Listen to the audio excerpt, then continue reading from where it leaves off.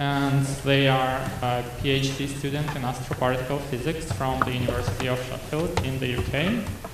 And Jost is going to talk about going deep underground to watch stars. Please give a round of applause, a huge round of applause to Jost Migenda.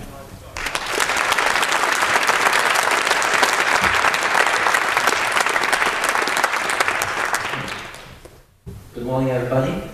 Glad you made it to the first day of Congress. Now, physics rarely makes news.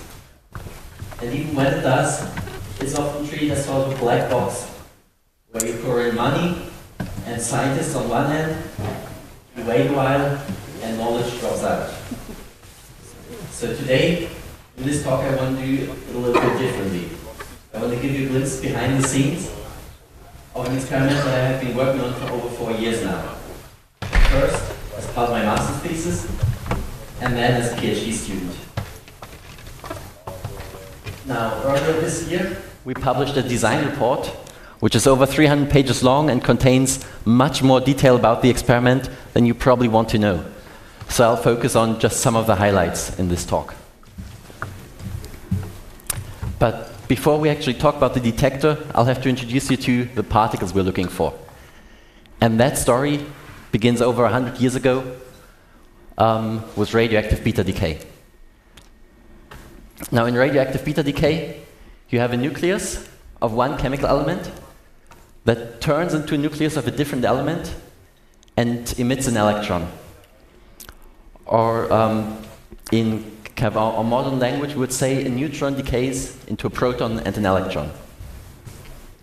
Now, after that was discovered, uh, there were lots of experiments done to measure the energy of that outgoing electron, and experiment after experiment found that there was some variance in energy, but was always lower than expected.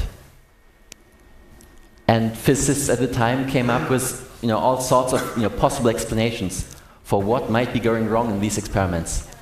Um, but they excluded those, um, those explanations uh, very quickly as well. So after a while, physicists became desperate. And some pretty well-known physicists actually thought, well, maybe we'll just have to give up on conservation of energy. So in this desperate situation, um, a guy called Wolfgang Pauli came up with what he himself called a desperate way out. So in, in this letter to a group of his colleagues, which he addressed as Dear Radioactive Ladies and Gentlemen, um, Pauli suggested that maybe there's another particle created in this uh, beta decay. And Pauli originally called this particle neutron, but of course two years later the particle we nowadays know as neutron was discovered, so Pauli's particle was renamed neutrino. Now you might be wondering, well, why didn't they observe this particle already? And the answer is very simple. Neutrinos are like ghosts.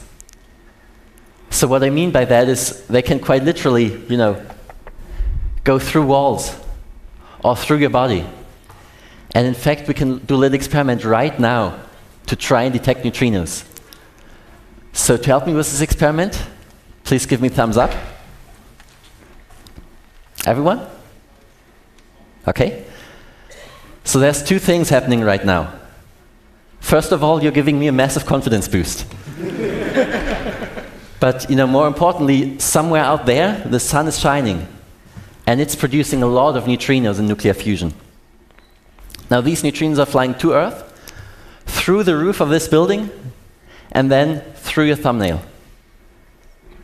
And right now, as you're listening to me, around 60 billion neutrinos are flying through your thumbnail. 60 billion neutrinos flying through your thumbnail every second. How does that feel? Hmm? You don't feel any of them? Right, so that's how ghosts like neutrinos are. And of course, physicists are clever, and shortly after Pauli um, had this idea, uh, some of them estimated how often neutrinos interact with normal matter, and they found that there is no practically possible way of observing the neutrino. And that remained true for over 20 years afterwards. So, now that I've introduced you to neutrinos, um, let's talk about building a detector to actually detect them. And the original motivation for building this detector was something a bit different. I talked about you know, beta decay, um, and over um, and over the next decades, physicists um, slowly discovered more particles. They discovered that protons and neutrons are made out of, up out of quarks. And in the 1970s, theoretical physicists came up with uh, some grand unified theories, basically precursors to string theory. And these theories predicted that the proton should decay as well. So, of course, you know, we built detectors to look for that. And a, a group in Japan um, built a detector near the town of Kamioka, which they called the Kamioka Nucleon Decay Experiment, or Kamiokande for short. Now, they didn't observe any proton decay, but shortly after they built it, somebody had a suggestion that if we change just a little bit about that detector, if we modify it just a little, we would also be able to detect neutrinos with that. So they modified the detector, switched it back on, and just a couple of weeks later, they actually observed neutrinos from an exploding star just outside our Milky Way. And that was the birth of neutrino astronomy. And for that, the then leader of the experiment received the Nobel Prize in 2002. Now, after over a decade of running, um, physicists were basically hitting the limits of what we could do with a detector that size. So we needed to build a bigger detector. And that one was very creatively named Super Kamiokande. And it's about 20 times bigger. Um, started running in 1996 and is still running to this day. Now, Super K um, did not discover proton decay. Um, but did detect a lot of neutrinos and made very fascinating discoveries. For example, they discovered that different types of neutrinos can change into each other back and forth as they travel. That's like you buying a cone of you know, vanilla ice cream, and then as you walk out, it suddenly turns into chocolate ice cream. That's really weird. Um, and for that discovery, um, just a few years ago, they received the Nobel Prize again. But today, we are again hitting the limit of you know, what we can learn from a detector that size. So of course, the next step is to build an even bigger detector, and we're calling it Hyper Kamiokande. By the way, super and hyper mean exactly the same thing, just one is Latin, one is Greek. um, so we are currently getting ready the plans to build Hyper Kamiokande and we will start construction probably in the spring of 2020. Details of the Nobel Prize are still to be determined. now, I said that 60 billion neutrinos go through your thumbnail every second. Of course, Super Kamiokande, which is running right now, is much larger than your thumbnail. So there's not just 60 billion, but 10,000 billion billion neutrinos passing through every day and only 10 or 15 of those get detected. So let's look at what, that, what this detection process looks like. Now this is the water inside Super K, and there's you know, a bunch of electrons in there, but I'll, I'll show just one. And there's neutrinos flying through. Not just one, not just a few, but loads of them. And most of them go straight through without leaving a trace. But every once in a while we're lucky, and one of those neutrinos will actually hit the electron and give it a little kick. And that little kick, you know, like billiard balls basically, and that little kick accelerates the electron to faster than the speed of light in water. Still slower than the speed of light in vacuum, which is the absolute you know, cosmic tempo limit, but faster than the speed of light in water. And then you get basically a sonic boom, but with light, which is this cone of light. And let's just show the animation again. So you've got this cone of light, and as that hits the wall of the detector, you see a little ring, this ring of light. And we've got very sensitive photosensors all over the inside walls to detect this flash of light. And from how bright it is, we can tell the energy um, of the neutrino. And we can also tell, you know, just like with billiard balls, we can approximately tell what direction the neutrino came from, just based on in which direction it pushed the electron. So that's the basic idea of how we detect neutrinos from the sun. Now let's talk about what it's actually like to build one of these detectors. So this is a drawing of Hyper Kamiokande. And you can see it's you know, 78 meters high, 74 meters in diameter. And on the top left, there's a truck, kind of for comparison. But maybe a better size comparison is to compare this to buildings which you're familiar with. Like the entrance hall, which you just came through this morning. Or, you know, the Statue of Liberty. And it, you know, doesn't quite fit in there. The, the arm still looks out. Um, but you could drown the Statue of Liberty in this detector, which nowadays is probably some sort of political metaphor. so this is a giant detector. And what's more, we're building it inside a mountain, about 650 meters underground, so that all the rock on top will act as a kind of a natural shield against all sorts of other particles that are raining down on our atmosphere from outer space. So that all other particles get stuck and only neutrinos can make it through. Now, of course, to build such a huge cavern inside a mountain, that's something that we physicists can't do on our own. So we need to talk to geologists who look at the rock quality and tell us, you know, what's a good place to, to build this cavern where is the rock stable enough to do that?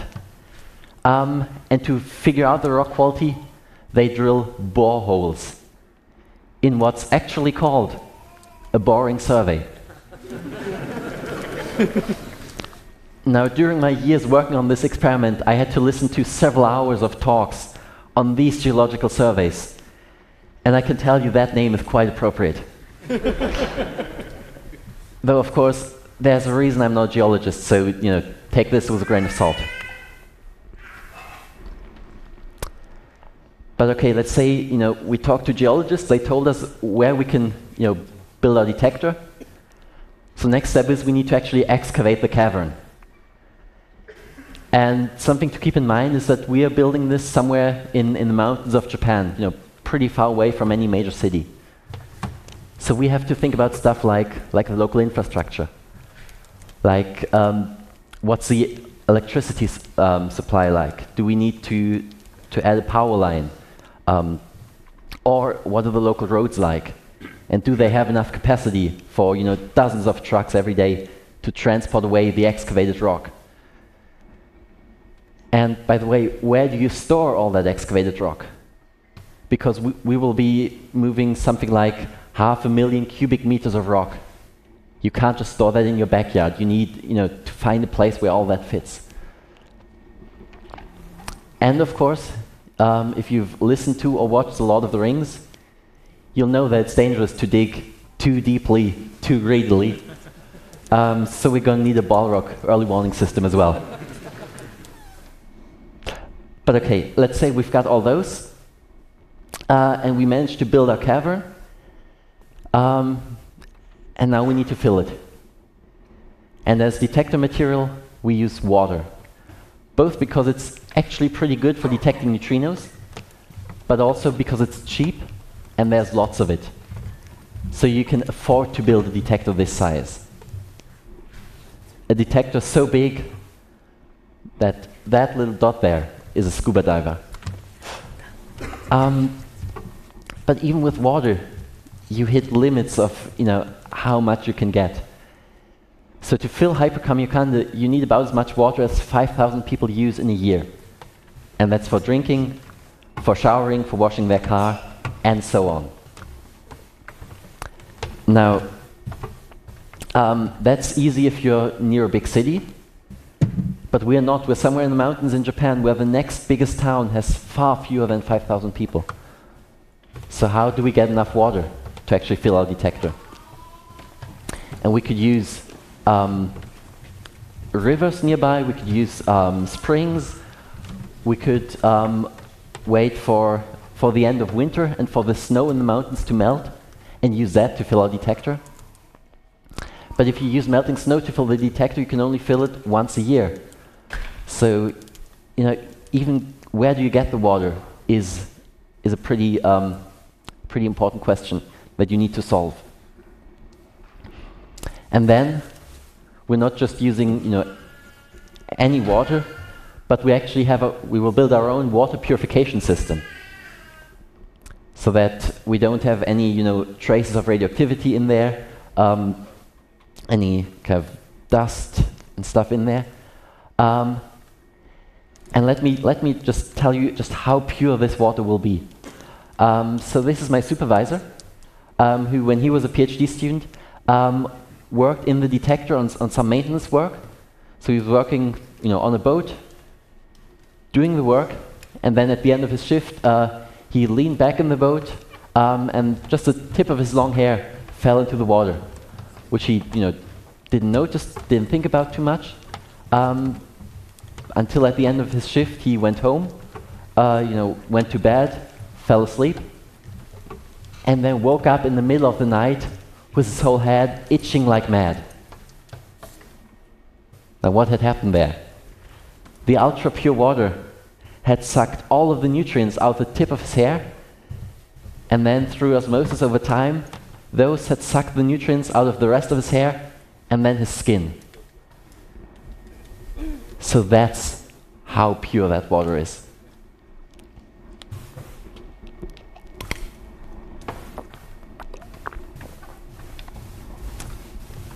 Now, I said all over the inside walls, and here's kind of a photo of the inside of the de detector. Um, and all these kind of golden hemispheres, those are what we call photomultiplier tubes, or PMTs for short. And those are basically, you know, giant, very sensitive pixels. And we will have 40,000 of those lining the inside walls of the detector. Now, in smaller detectors, you could just have, you know, from each PMT, one cable leading to the top of the detector, and then have your computers there to analyze the signal. With a detector this size, you just can't do that. Because you would need, you know, 40,000 cables, some of which are over 100 meters long. That wouldn't work. So we um, have to put some electronics in the water to digitize the signal and combine signal from multiple PMTs into one, and then use just a single cable um, to bring that up to, to the top where we analyze the signal. But that means we have to put electronics into the water. So that um, creates a whole bunch of new problems. For example, we need these electronics to be watertight. And I'm not talking the level of water tightness you'd expect from your smartwatch, where it survives, you know, you standing under a shower for five minutes. I'm talking below 60 meters of water for 20 plus years. These electronics also need to be very low power because we can't heat up the water too much. Otherwise, you know, these, these pixels, these photomultiplier tubes, would become noisy, um, and this would kill our signal. And then also, because we don't want you know, one defective cable to kill a whole section of the detector, we need to implement some sort of mesh networking to introduce some redundancy. Now, each of that by itself is not, not a hard problem. Each of these problems can be solved. It's just a lot of additional work you suddenly have to do because your detector is you know, that huge. And gets even worse. This is what one of these PMTs looks like. It's about 50 centimeters in diameter. And inside that glass bulb is a vacuum. So it's under a lot of pressure. Plus, we add 60 meters of water on top of it, which adds additional pressure. So you need to make absolutely sure when you're manufacturing those that you don't have any um, weak points in the glass. And they don't just have to withstand that water pressure, but there will probably be some PMTs that have, you know, some weak points, some air bubbles or something in the glass, so some structural weakness. And the neighboring PMTs don't only have to survive the normal water pressure, they also need to survive one of their neighboring PMTs imploding and sending out a pressure wave. And that's not just a hypothetical. That actually happened, um, you know, 18 years ago, uh, sorry, 17 years ago in, in Super Kamiokande. And that, you know, within seconds killed uh, more than half of the PMTs we had in there. And it took years to restore the detector to full capacity. So, lots of problems to solve. And you know, one, one group, one university can't solve all these on their own. So we've got this multinational collaboration with over 300 people from 17 different countries marked in green here and across many different time zones. So right here, right now, here it's about um, you know just before noon. In Japan, people have already had dinner and are going to bed soon. In the US, people haven't even got up yet in the morning. So good luck finding a time for phone meetings, which works for all of these people. So, um, that's kind of a glimpse behind the scenes of what it's like to work on this detector and to, to actually build it. But now I want to talk about what we use a detector for. And I've got two examples, um, but of course there's a whole bunch more that we do, which I just don't have time to talk about today.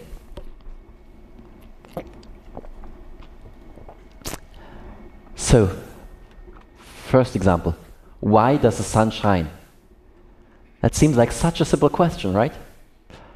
And yet it turns out it's really difficult to answer. Um, so in, in the days of the Industrial Revolution, when you know burning coal and, and steam power was all the rage, people thought that you know maybe it's you know a giant ball of burning coal. But when you when you you know do the math, it turns out that would um, you know burn for a few thousand years maybe. So that definitely doesn't work.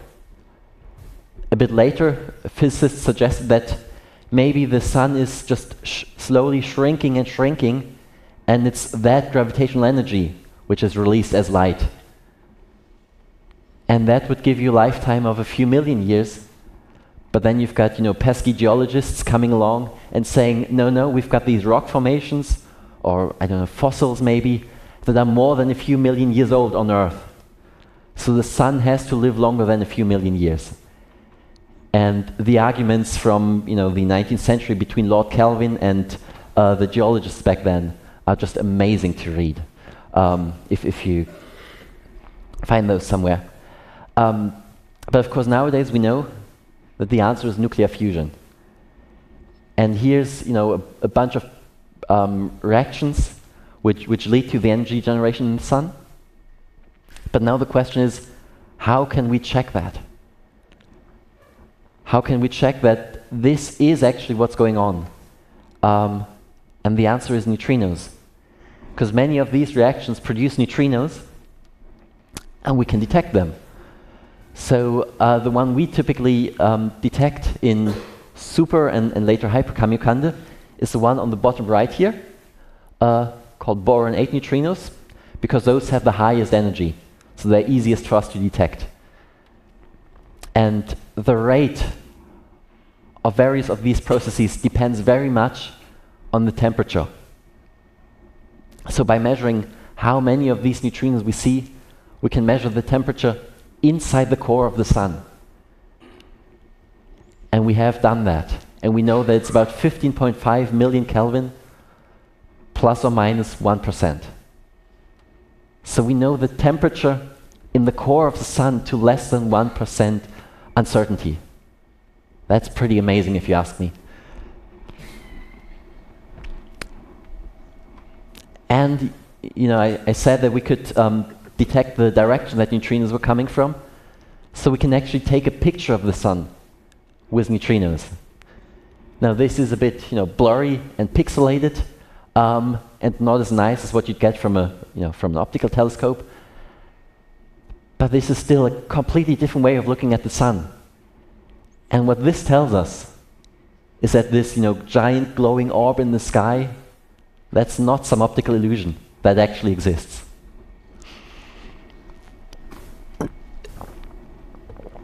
Okay. So on to our next topic, exploding stars or supernovae, which is what my own research is, is mostly about. So supernovae are these giant explosions where one single star, like in this example here, can shine about as bright as a whole galaxy consisting of billions of stars. And the rule of thumb is this however big you think supernovae are, you're wrong. They're bigger than that. And um, you know, Randall Munroe of XKCD fame had this excellent example of just how big supernovae are. So he asks, which of the following would be brighter in terms of the amount of energy delivered to your retina? Option one, a supernova seen from as far away as the sun is from Earth. Or option two, a hydrogen bomb pressed against your eyeball. so which of these would be brighter? What do you think? yeah, y you remember the, the rule of thumb we had earlier? The supernova is bigger than that. In fact, it's a billion times bigger than that. So supernovae are some of the biggest bangs since the original Big Bang.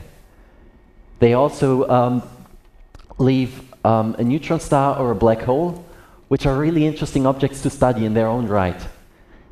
And the outgoing shock wave also uh, leads to the creation of lots of new stars. But maybe most importantly, supernovae are where many of the chemical elements around you come from. So whether it's, th it's things like the oxygen in your lungs, or the calcium in your bones, or the silicon in your favorite computer chip, life as we know it, and Congress as we know it, could not exist without supernovae. And yet, we don't actually understand how these explosions happen. And while we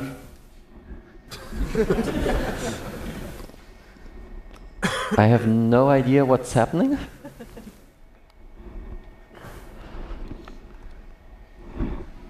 Okay. So life as we know it could not exist without supernovae.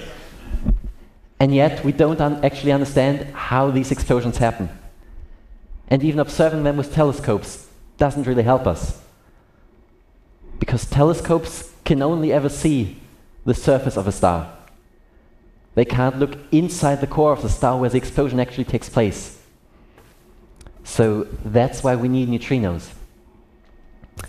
And we've observed tens of thousands of supernovae with optical telescopes. with neutrinos, we've observed just one. This one in February of 1987. And we've seen two dozen neutrinos, which you see here on the right. That's what we know. So we know basically that you know, many neutrinos are emitted during the first one second or so, and then fewer and fewer for the next 10 seconds. We know that neutrinos make up most of the energy of the explosion, uh, of, the, of the supernova, with the actual um, energy of the explosion and the visible light making up a, just a tiny fraction. We know that the neutrinos arrive a few hours before the light, And that's all. That's all we know. And still, about these two dozen events, these two dozen neutrinos, more than 1,600 papers were written. That's more than one paper a week for over 30 years. So this gives you an idea of just how important this event was and how creative physicists are. or I guess you could call it desperate, but you know, I prefer creative. in fact, this, you know, this one supernova we observed was such a big deal that 30 years later, um, February of last year, we had a conference in Tokyo on supernova neutrinos, and we had a 30th anniversary celebration. So there we were, about 40 or 50 physicists, um, looking over the skyline of Tokyo, having dinner. Um, there's the now leader of the Super Kamiokande experiment, who was a PhD student back then when it happened. And in his hand, he's holding the original data tape with the events that he himself analyzed back then. So there we were. And at one point that evening, we actually started to sing Happy Birthday. Um, so it goes, you know how it goes. Happy birthday to you. Happy birthday to you. Happy birthday, dear Supernova 1987A. You know, it absolutely doesn't work. but it was still amazing. so that's all we know. And then there's what we think we know. And most of that comes from computer simulations of supernovae. But the problem is, those are really, really hard. You know, it's one of these extremely rare situations where all four fundamental forces gravity, electromagnetism, and the weak and the strong nuclear force all play a role. You know, normally in particle physics, you don't have to worry about gravity, and in pretty much all other areas of physics, you only have to worry about gravity and electromagnetism. Here, all four play a role. You've also got nonlinear hydrodynamics of the gas and plasma inside the star. Um, you've got the matter moving relativistically at 10 or 20% of the speed of light. And you've got extreme pressures and extreme temperatures that are sometimes beyond what we can produce in the laboratory on Earth. So that's why these simulations, even in 2018, are still limited by the available computing power. So we need to do a lot of approximations to you know, actually get our code to run in, in a reasonable time. But that gives you some, that you know, produces some problems. And in fact, the week I started my PhD, um, one of those groups doing these supernova simulations published a paper saying that there is a long list of numerical challenges and code verification issues. Basically, we're using these approximations and we don't know exactly how much error they introduce and the results of different groups are still too far apart. And that's not because those people are dummies. Quite the opposite. They're some of the smartest people in the world. It's just that the problem is so damn hard. In fact, in many of these simulations, the stars don't even explode on their own. And we don't know whether that means um, that some of these approximations just introduce numerical errors um, which change the result, or whether that means that there's some you know, completely new physics happening in there which we don't know about, or whether that is actually realistic and some stars you know, in, in the universe don't explode but just implode silently into a black hole. We don't know. We just don't know. Um, so take any, you know, any results of sim simulations with a grain of salt. That said, here's our best guess for what happens. So we start out with a massive star that's um, at least eight times the mass of our sun, and it starts fusing hydrogen into helium, um, and then on and on into heavier elements, until finally it reaches iron. And at that point, fusion stops, because you can't gain energy from fusing two iron nuclei. So that iron just accretes in the core of the star, while in the outer layers, here in orange, um, nuclear fusion is still going on. But as, as more and more iron accretes, and that core reaches about one and a half solar masses, it can't hold its own weight anymore. And it starts to collapse. And inside the core, in, in nuclear reactions, you're starting to form neutrinos, which I'm showing as ghost emoji here. Now let's zoom in a bit. The core continues to collapse until at the center um, it surpasses nuclear density. And at that point, um, it's so dense that the neutrinos are actually trapped in there. So even neutrinos, which literally can go through walls, cannot escape from there because it, the matter is so dense. And the, the incoming matter basically hits a wall um, because you know the matter in the center can't be compressed any further. So it just hits the wall and bounces back. So from that collapse, you suddenly get an outgoing shock wave. And in the wake of that shock wave, suddenly you get a whole burst of neutrinos, which escape the star quickly. Now that shock wave moves on and slows down.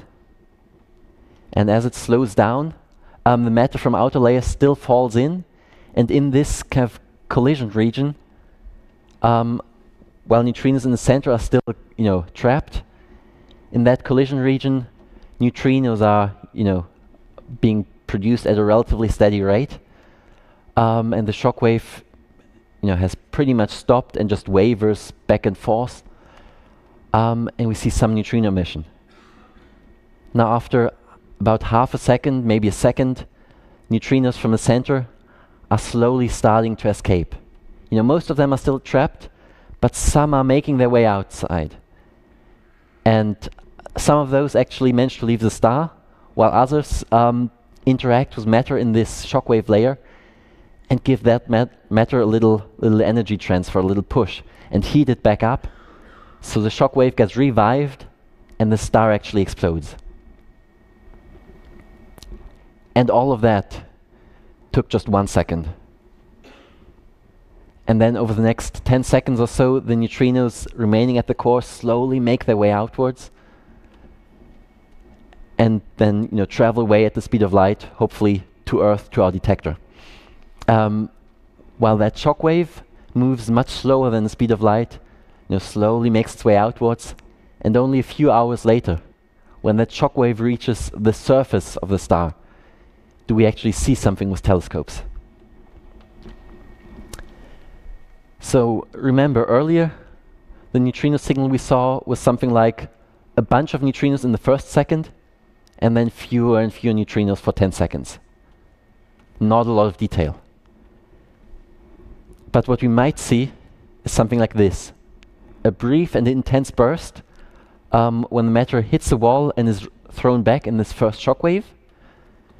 Then as the shock wave stagnates, we might see some, some wiggles corresponding to the shock wave you know, sloshing around aimlessly until the shock wave is revived the explosion starts, and then over the next 10 or so seconds, we would see fewer and fewer neutrinos as a star cools down and as neutrinos escape. So if we have good neutrino detectors, we should be able to watch, you know, millisecond by millisecond, what exactly happens inside the star. Now, luckily, we've got many more neutrino detectors by now. Um, probably the biggest one is, is Super Kamiokande up in green, which would see about 4,000 events from a kind of average supernova in our Milky Way. Um, and then we've got a bunch of other detectors, which was typically you know hundreds of events. And some of these detectors are part of something called the Supernova Early Warning System, or SNEWS. And SNEWS is meant to act as a wake-up call to astronomers. So when, when these detectors observe neutrinos, which are probably from a supernova, they will send out an alert to, to astronomers to get their telescopes ready, to be able to see um, that supernova from the very beginning. And then, of course, just in the past few years, we've also had gravitation wave detectors, like LIGO in the US, um, Virgo in, in Italy, and in just a few years we will get another one um, called KAGRA, which is located in Japan, actually inside the same mountain as Super Kamiokande. So they're literally next door neighbors. Um, and then we might get another detector in India, maybe one in China in, in the future. So that's three completely different ways of looking at supernovae. So when we observe a supernova, it will be headline news. And now you know what's behind those headlines.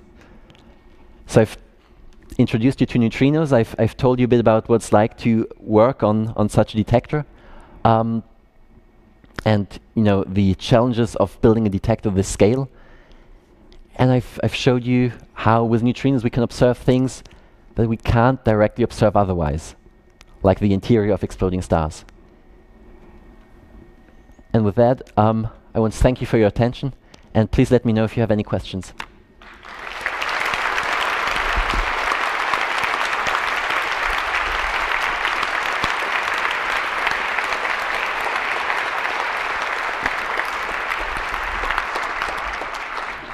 Thank you, Jost. It was an amazing talk. We have plenty of time for questions, and there are two microphones. Uh, microphone one is on the left side of the stage, microphone two is in the middle, so queue up, and we're going to take some questions.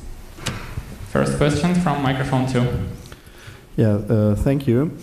But uh, I do have a question. I come from a mining area and I just looked up um, how deep other mines go and I'm wondering why do you dig into useless rock if you can just go to some area where there are uh, mines that are no longer used. In my area they go as steep as 1200 meters I think. I just looked up and was surprised that the deepest mine on earth is almost four kilometers in South Africa, an active gold mine. So why don't you use those? Um, so part of why we're using you know that particular location is because we used it for Super K and for Kamiokande before, um, and the the mountain that Kamiokande um, was in actually is a mine. So we had some you know previous infrastructure there. Um, and then there's, I guess, some trade-off between the benefits you get from going deeper and deeper um, and the additional cost, Mm. I think. Okay. Thank you. We have a question from the internet that's going to be narrated by our wonderful signal angel, Ha- Outback. Hello, Internet.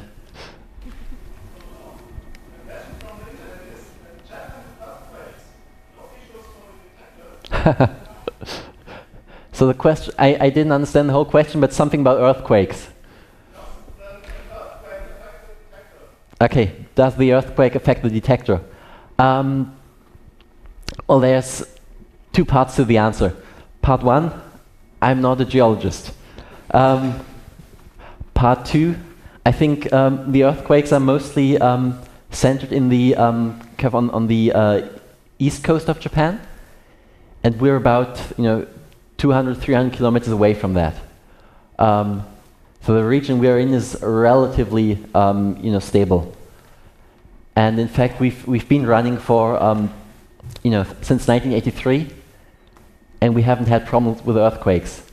And during the um, Fukushima um, earthquake, um, our detector was mostly fine, but we, we've actually had, so in addition to uh, what I was talking about, we're also producing a beam of neutrinos um, at an accelerator, which we shoot at the detector.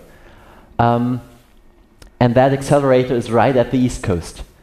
So the only damage from the Fukushima earthquake was to that accelerator, not to the detector itself. I hope Thank that you. answers your question. Um, next is from microphone two. Hello, thanks for an interesting talk. Um, do you or does have science any theory if the neutrinos uh, who hit the electron are affected themselves from this hit? Are they like directed in another direction or lose some sort of energy itself, or just Hmm. hit the electron and pass through? Uh, they so uh, conservation of, of energy and of momentum still holds. So they would lose some energy as they give the electron a little kick. Okay, thank you. Thank you. One more question from Mike too. Hello, uh, thanks for your talk. Um, my question is, you said um, that the only supernova where we detected some neutrinos from is from the 80s. Yeah. So what is so special about that supernova that with all the new detectors built, there was never another detection? Uh, so the special one, special thing about that one is that it was relatively close. Hmm. So it was in the Large Magellanic Clouds, about 150,000 light years away, which is, you know, on, on cosmic scales, our next door neighbor. Hmm. Um, whereas other supernovae, um, you know, which we observe, can be you know millions of light years away. We can easily see them at that distance, but we can't detect any neutrinos. Okay, thank you. And, and we expect about you know between one and three supernovae in our Milky Way per century. So we're, we're in this for the long term. Okay. Thank you. Microphone two again, please. Hi, uh, thanks for your talk. Um, my question is you said uh, that um, changing the water once a year is uh, not often enough. How often do you change the water? So how, how often do we change the water in the detector? Yes. Um, so we, we completely drain and refill the detector um, only for repair work, which um, you know happens every you know de- depending on you know what we want to do, but um, typically every couple of years to you know 10 plus years. Um, and apart from that, we recirculate the water all the time to, to purify it. Uh, because there will always be some you know, traces of radioactivity from the surrounding rock, uh, which, which make their way into the water over time. Thank you. Thank you. And that would be all. That was a wonderful start to the Congress. Thank you, Jost. Thank you.